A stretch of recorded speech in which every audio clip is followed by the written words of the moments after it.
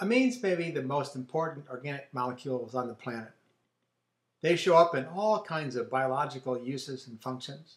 They're used as building blocks for polymers to make textiles and plastics, Kevlar.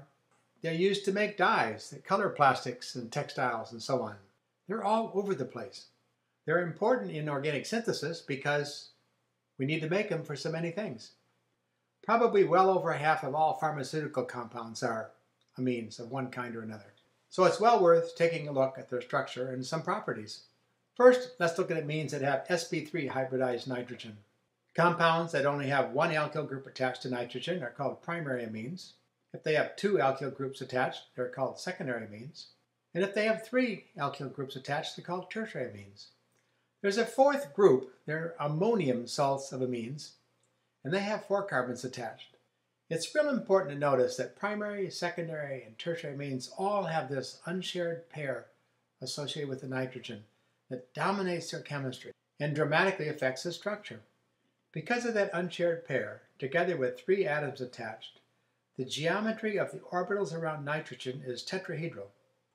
But if somebody asks you about the atomic geometry of amines, you would need to say trigonal pyramidal because we can't see the electrons, they're not an atom. And so, if you take a look at the atoms arranged around nitrogen, it doesn't look like a tetrahedron.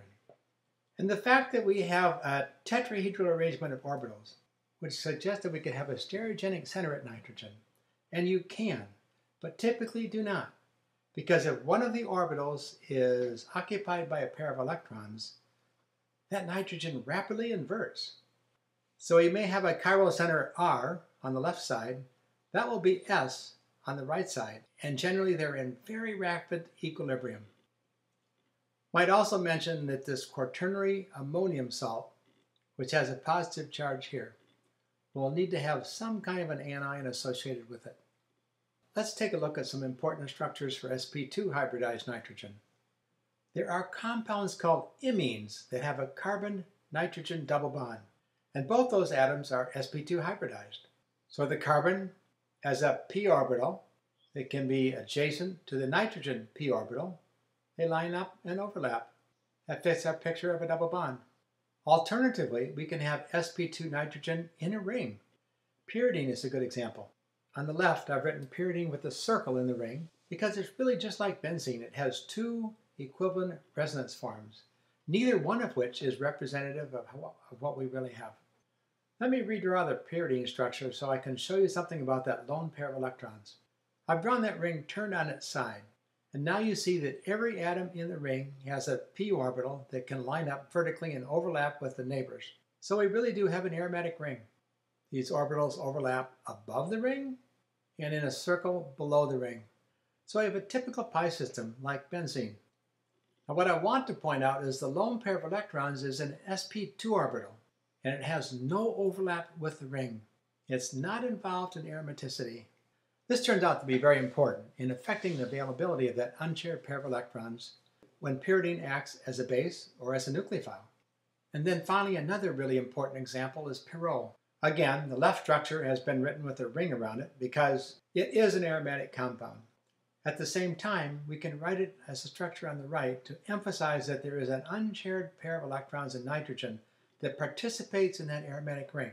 Unlike the unshared pair in pyridine, which is available to act as a base, this unshared pair is not, because if this unshared pair acts as a base or as a nucleophile, the aromatic ring has to be disrupted. One of the key attributes of amines, which affects a physical property, is the ability to hydrogen bond, just like alcohols. The difference is the hydrogen bonding in amines is weaker. But like alcohols, we can have hydrogen bonding between multiple molecules of amines.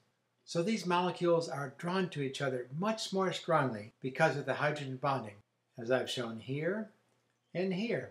And notice, for a amine that has a hydrogen attached, there's two types of hydrogen bonding. The hydrogen attached to the nitrogen can hydrogen bond to another molecule, and the nitrogen of the amine itself can hydrogen bond to another hydrogen of another amine molecule. This greatly increases the intermolecular forces and raises the boiling points. Hydrogen bonding also increases the solubility of amines in water because the amines can hydrogen bond with the water molecules. Here I've written water molecules in place of amine molecules. And you can see that the same type of dual hydrogen bonding can take place.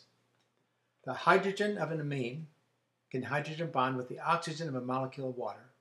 And the nitrogen itself of the amine can hydrogen bond with the hydrogen of water. So amines have greatly increased water solubility. Look at these data.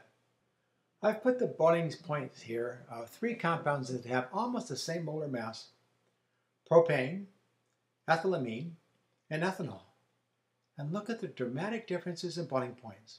For propane, there's no hydrogen bonding possible, and it boils at a very low temperature. Ethylamine is a primary amine that has substantial hydrogen bonding, and it boils much higher. But ethanol, which has even stronger hydrogen bonding, boils at 78 degrees compared to 17. The boiling points of these three molecules provide additional evidence regarding the importance of hydrogen bonding. In this case, all three amines have the same number of carbon atoms. But we have a primary amine, we have a secondary amine, and there's some steric hindrance that reduces hydrogen bonding. And then we have a tertiary amine, which has no hydrogen, and so there is no hydrogen bonding. And look at the difference in bonding points. The primary amine boils higher than the secondary amine, which boils much higher than the tertiary amine.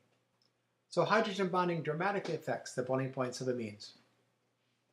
Look at water solubility. Butylamine is miscible with water. That means it can be mixed in any proportion. It's infinitely soluble in water. Compare this to, let's say, butyl chloride. Now the electronegativity of chlorine and nitrogen is identical. On the Pauling scale, they have a value of 3.0. So the polarity of the carbon heteroatom bond is the same. But butyl chloride is essentially insoluble in water, while butylamine is miscible. This is due entirely to hydrogen bonding.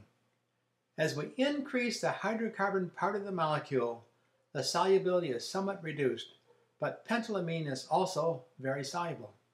By the time we get to hexylamine, we have six carbons, though solubility is significantly reduced by the hydrocarbon piece, and the solubility is only 12 grams per liter. It's significant, but a lot less than the others. The point is, hydrogen bonding greatly increases the solubility of amines in water. But as the amine portion of the molecule gets to be a smaller and smaller portion of the molecule, that effect is diminished and solubility of amines in water decreases. One more bit of evidence. Take a look at triethylamine. Now it can't hydrogen bond with its own hydrogens to water, and now the triethylamine is only slightly soluble in water. The nitrogen can hydrogen bond to hydrogens of H2O, but it has no hydrogen to hydrogen bond to the oxygen. Same number of carbons as hexylamine, but less soluble. Let me give you a quick overview of chemical properties. First and foremost, I want you to think of amines as bases. That unshared pair of electrons on nitrogen is available to form a bond with hydrogen. Secondly, and also really importantly, I want you to think of amines as nucleophiles. That unshared pair of electrons on nitrogen is available to form a bond with carbon. So if carbon has a leaving group attached to it, nitrogen can act as a nucleophile and displace that leaving group. Alternatively, Nitrogen can add as a nucleophile to the carbonyl group. The unshared pair of electrons is attracted to the partial positive charge of the carbon of the carbonyl group, and a bond is formed with carbon as the pi bond breaks. So we have three key reactions, protonation, substitution, and addition. In addition to that, primary and secondary amines can act as acids. When we have a super strong base, the unshared pair of electrons of a base can actually abstract a proton from the nitrogen. This takes a very strong base because the pKa of the hydrogens attached to nitrogen is about 35. Very, very low acidity. But I mention this because it's really important. Once the proton is removed from that nitrogen, we make something called an amide. And that amide can be a very useful base in organic chemistry. The most widely used example is diisopropyl amide. There are two isopropyl groups. You start with a secondary amine. That nitrogen already has a pair of electrons on it, so I'm going to draw that in too. Plus now it has another unshared pair because it's lost a proton. It has a negative charge, and lithium is usually the cation. This is called LDA, lithium diisopropylamide. So the acidity of amines, although it's very low, plays an important role. And finally, one other kind of chemistry. Amines oxidize readily. Now what this means to you and me is these compounds are subject to degradation when they stand in air. They slowly turn brown, and they usually have to be purified before you want to use them. There's useful oxidation chemistry of amines, but I'm not going to touch on that right now. So there's your overview of the chemical reactivity of amines.